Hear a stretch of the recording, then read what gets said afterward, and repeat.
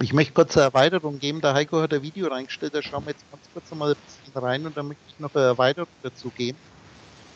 Okay. Und zwar tue ich dir jetzt mal schnell den Bildschirm übertragen. Und zwar geht es um dieses Video, okay? Du siehst also schon, der Schiffbrüchige ist sehr interessant, wenn wir jetzt die Worte anschauen. Das ist bloß ganz nebenher. Darum geht es aber gar nicht. Das GR hast du die in meiner Berechnung. Das ist unsere Generation. Und jede Generation, jeder Augenblick, der auftaucht und verschwindet, wo man darauf eingegangen ist, ja ein Ski. Das ist ein Geschenk, wenn man das Hebräisch macht. Und das Geschenk besteht immer aus zwei Facetten. FF. Können wir Wellenlinie dazwischen machen, diese zwei Facetten, die 80-80. Und dann kommt ja Beruch. Das heißt, es ist etwas im Geist. Okay?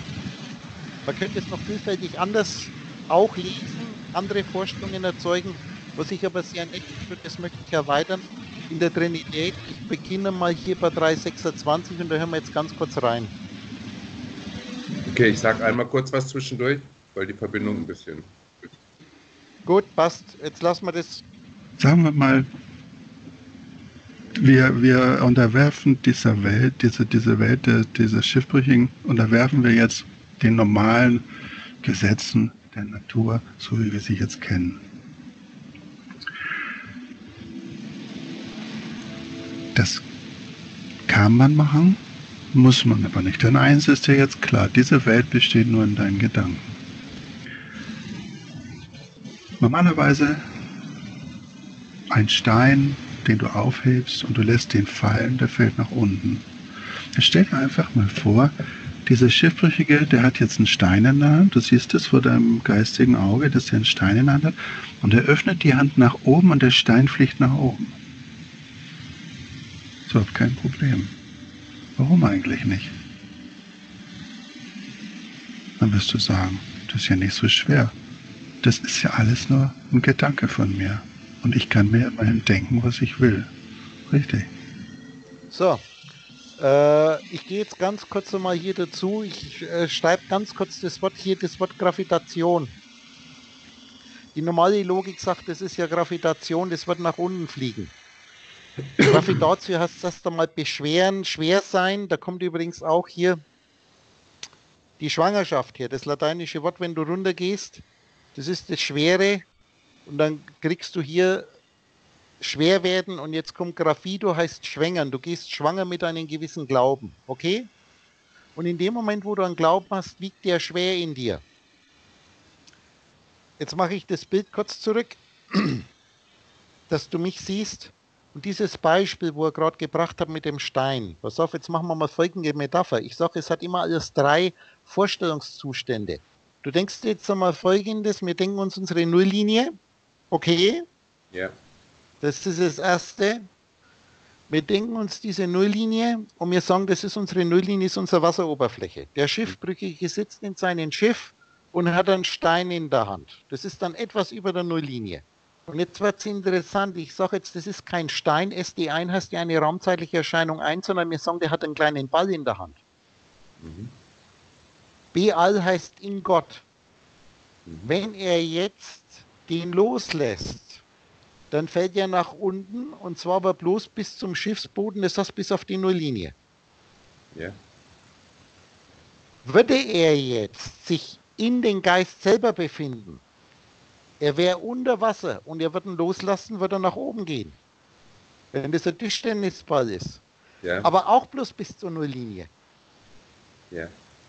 Ich sage immer, das Wasser unten, was du dir als Fläche vorstellst, ist eigentlich Gott, es ist das All. Wie sieht jetzt das aus, wenn wir im All sind? Ich sage jetzt im Weltraum.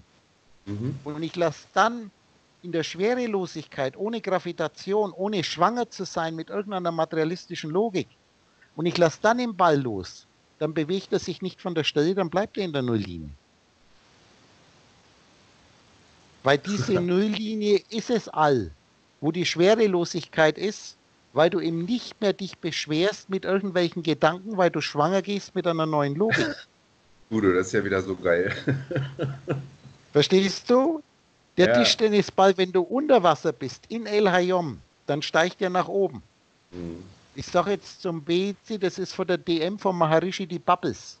Da gibt es bei Maharishi in der Lehre gibt es so eine Sache, äh, ohne dass ein Maharishi, den ich mir jetzt ausdenke, das wissen könnte, weil ich mir denke, dass er es nicht wissen kann, ist eh bloß ein Gedanke, der sagt, wenn du ganz tief in das Meer runtergehst und da hast du, entsteht eine kleine Luftblase und die ist durch den Druck, wir bleiben immer in der Erklärung der normalen Physik, ist die extrem zusammen, zusammengedrückt. Und wenn die jetzt zwangsläufig nach oben steigt, das heißt, die versucht von dem unten in den Nullpunkt zu kommen, unser mhm. Mittelpunkt.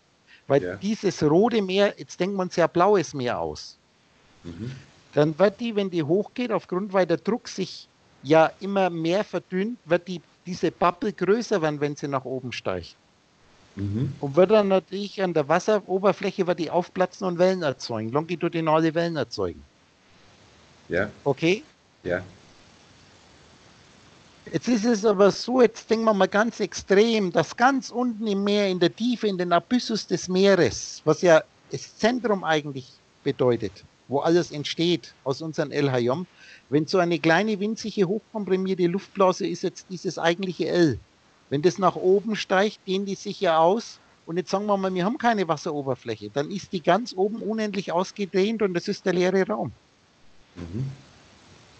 Und wenn wir die jetzt wieder ganz runterdrücken, wird sie komprimiert. Das unten ist L, das ist es nichts und oben ist es leer. Ja, alles und nichts. Mhm. Und den Ball, wenn wir jetzt haben, nochmal, wenn du den Ball über dieses, über die Wasseroberfläche raussetzt, zählt in deiner Logik das Gesetz der Gravitation, dann wird der Tischtennisball auf die Wasseroberfläche fallen. Wenn ich ihn unter die Wasseroberfläche halte und ich lasse ihn los, wird er nach oben gehen, aber nur wieder bis zu dieser Nulllinie. Mhm. Wenn ich jetzt weiß, dass diese Nulllinie das All ist, der Ball in All, dann bleibt es auf der Stelle, bleibt es im Hier und Jetzt. Das war es eigentlich schon, darum habe ich dich okay. jetzt benutzt, weil ich wollte es etwas genauer machen. Ja. Dieses schöne, liebe Video vom Heiko in seinem Still, dass da immer noch im Hintergrund noch viel, viel mehr drin ist, wenn man sich da genauere Gedanken drüber macht. Mhm. Okay? Ich stehe dir gerne zur Verfügung. Ja, alles klar. Tschüss. Danke, ciao.